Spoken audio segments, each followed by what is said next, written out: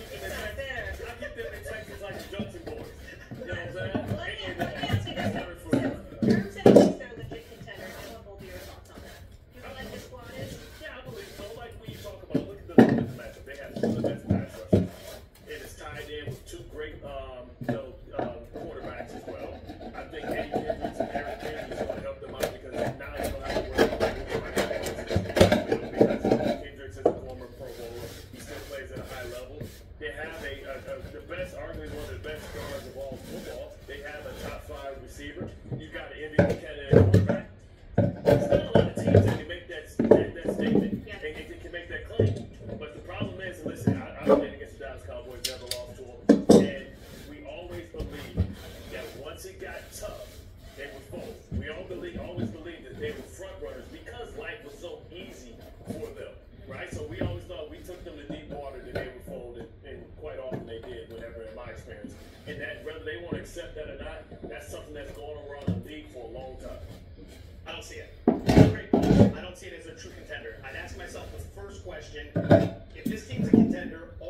capable of winning.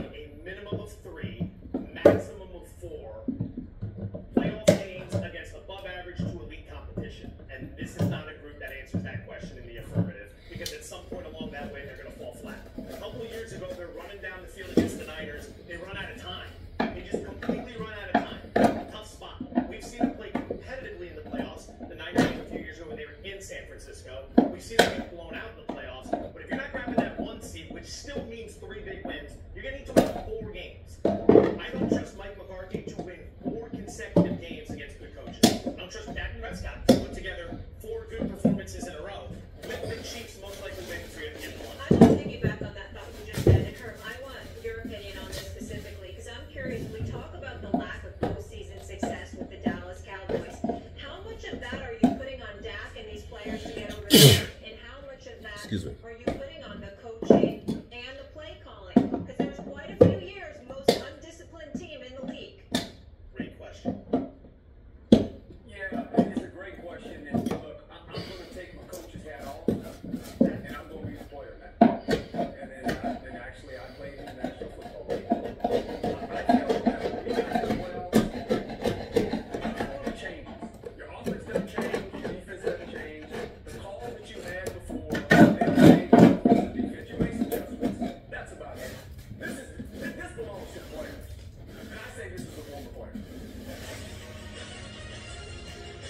Interesting. Hold, let me turn that off for a second. And I'll give you my thoughts here. Um, I'm working on these steps, pulling out all the staples and prepping this. Um, once I get all the staples out, I'll go There was a lot of talk yesterday. There was a lot of conversation. There were interviews yesterday that had to do with the Dallas Cowboys, and that is Jerry Jones. Jerry Jones, owner and GM. You see what what goes on here, right? You you see this, right?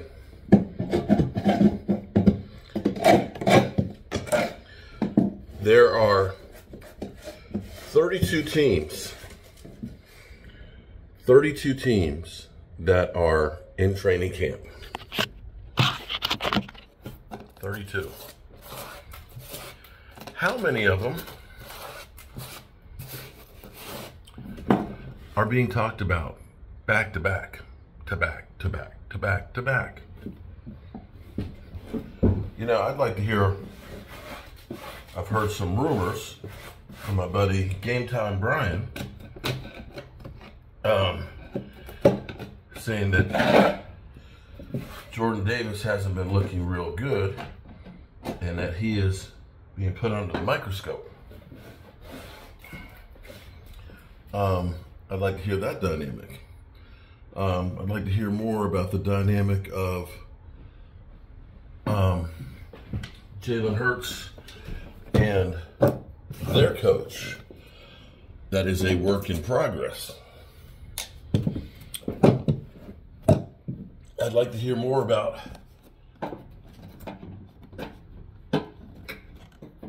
San Francisco and Brandon Aiyuk, how that's going, the negotiation contracts. But they don't talk about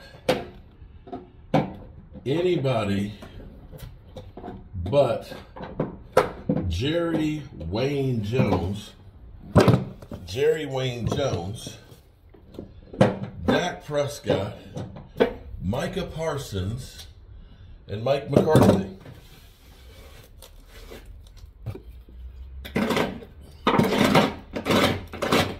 Are you telling me that? Are you honestly going to tell me that the Dallas Cowboys are the only team that are left wanting? Um, that have had their team not hit expectations? Um, I could say that Josh Allen, who's been considered to be one of the best, he ain't been to the Super Bowl. And as we say, Dak Prescott with two playoff wins. You know, Lamar Jackson only has two.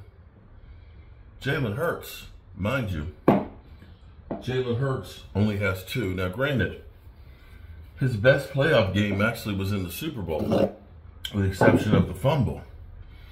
But when you think about his other two that were victories, I think the Giants only scored seven points.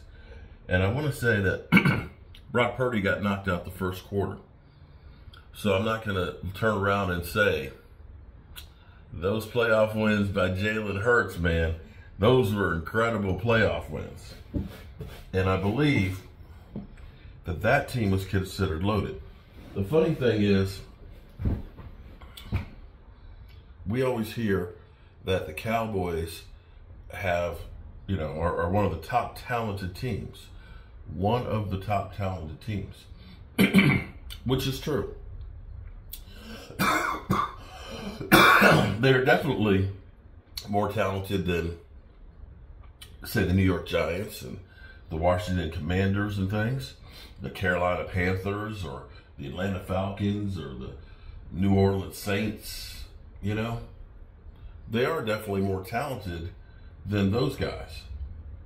They are. That's a true statement. The Cowboys are one of the most talented teams. But see, you can't look and say they are the most talented team. Because I can look at it and say, when I look at San Francisco, okay, you can say that Nick Bosa and Micah Parsons are, are similar. I can, I can say that. But then when you start going down the line of the other players that are out there, like Greenlaw, who, my God, I, I, I tell you what, sometimes I wonder why people watch me. Jason M., who's a 49er fan, will find the smallest detail and kill me for it. I think I said ACL for Greenlaw. My bad. Uh, when you do one takes and you're doing multiple things like I do, I drove over 450 miles yesterday and didn't get to bed until like 1.30 this morning. And that was after driving 200 miles the day before, and I've got 200 miles, 225 to go before I get back down for my live stream. And I'm down here on my hands and knees pulling out staples on a step. I, I might, by accident, say ACL as opposed to Achilles. You know, they both do start with A's. But as I start looking at having linebackers like Greenlaw and things like that, having defensive linemen like Armstead and Hargrave and things, and compare that talent, or look at Tony Pollard versus Christian McCaffrey, or look and see that I, you got like Brandon Aiyuk and you got Deebo Samuels and you got George Kittle. I can't look at that and say that the Cowboys have better talent than them. And in the end, a lot of winning is how much talent you have. I can, as much as it pains me to say so, is I can look at the Eagles and say that they have more talent than the Dallas Cowboys by far, a better offensive line. right now, their running backs situation, although I don't think Saquon is as good as going to be the big boost that everybody's predicting um, because D'Andre Swift was not exactly chopped liver. He dude had 1,300 yards last year. And I honestly think that you're actually going to take a step back. But then again, I am just the village idiot here who on a Sunday is stripping steps. But see, here's the thing. I, I, I can't tell you the, the names of the NASCAR drivers or anything like that. But let's say you have one of the top NASCAR drivers, you know, one of the best that's out there, right? Does he win solely because of how he drives? Now, you got to have a great driver. Got to have a great driver, first of all. The guy that can go through there, has no fear, passing and cutting and everything else, and pushing the car, you know, to the limits. You, you got to have that, right? But what happens if his engine blows? If the engine blows up while he's driving, is he going to win the race? Or do you look at that and say, you, you, you got, hey, bro, you got to win it without your engine. Or, or let's say his pit crew. Let's not, let's not go something as catastrophic as an engine failure. But let's say his pit crew. Let's say his pit crew, he goes in there to get his tires changed, and they forgot to put the tires out there. Or worse yet, there just happens to be a tire that just ends up being a bad tire and it blows.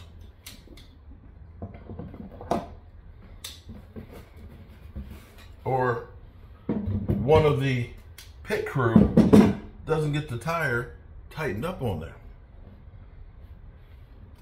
Do you look at that and say, you got to overcome that?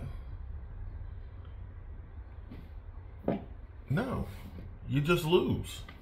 You lose because of circumstances around you. Now, I don't know of anyone, I don't know of anyone who can right now, seeing what the Dallas Cowboys are doing as far as their players go, literally creating animosity, literally stirring shit up, making them feel like they are worthless, not worth the money that they deserve, and so on, and make them literally feel like they're not wanted to be here. That this is a championship um, organization that is all about winning. That when you hear about players that are still, you believe are good players, that could help you, I don't honestly know. I can't honestly look and say that Derrick Henry being on the roster would have hurt the Cowboys. I can't honestly say that the Cowboys are better off that they didn't sign Derrick Henry. That's not to say that it's a guarantee in a home run that Derrick Henry would make the Cowboys a Super Bowl contender. Because we've seen a lot of players that we thought had been great players go to places and not succeed. We've seen a lot of that. But you have to take chances at some point to try and get better. And I can't look at the Cowboys and say, with the, with the talent that they have, that they are competing like other teams are. You think San Francisco, if they don't see, if they see a player right now as good as their talent is, that they're not going to add it? I believe they signed a linebacker, or excuse me, I'll give you a better example. With Greenlaw, with the tour Achilles chasing, that they tried to get Eric Kendrick because they weren't sure if he was going to be ready to start season. They go out and say, let's go out and get Eric Kendrick. And for whatever reason, Eric Kendrick decided I'd rather go with my old coach in the Dallas Cowboys and take less money. But they were looking to say, we've got a problem we need to fix. And let's go out there and make the best type of move. As much as we are now blaming Dak Prescott and the Dallas Cowboys players and things in here, we actually have to look back and say that you've had some of the greatest people out there that couldn't compete and win it under Jerry Jones from Bill Parcells. You look at what Wade Phillips did with defenses, winning, creating Super Bowl caliber defenses. He couldn't do it here with the Cowboys. We look at uh, Jason Garrett. People kept saying how much Jason Garrett was handicapped by the Joneses. And people think I hate Tony Romo. I don't hate Tony Romo. Tony Romo was a really good quarterback that should have won a Super Bowl. But I'm not going to put that on Tony Romo. I got to put that on the Cowboys organization and the dysfunction that has been created by the Joneses. The circus atmosphere.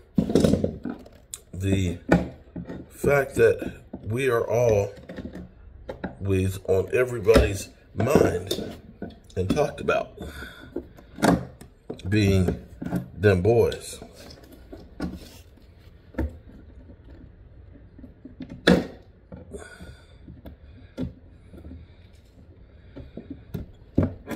Every team,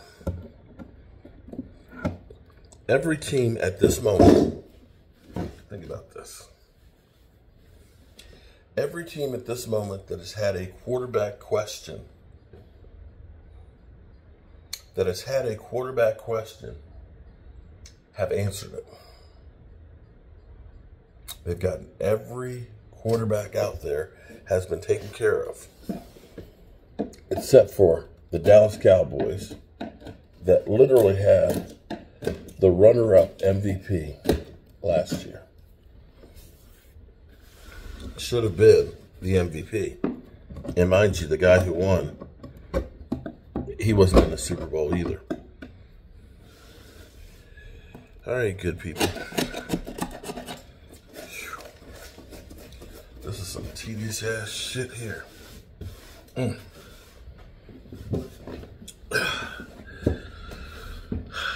Eagle fans always find some bullshit work I gotta do.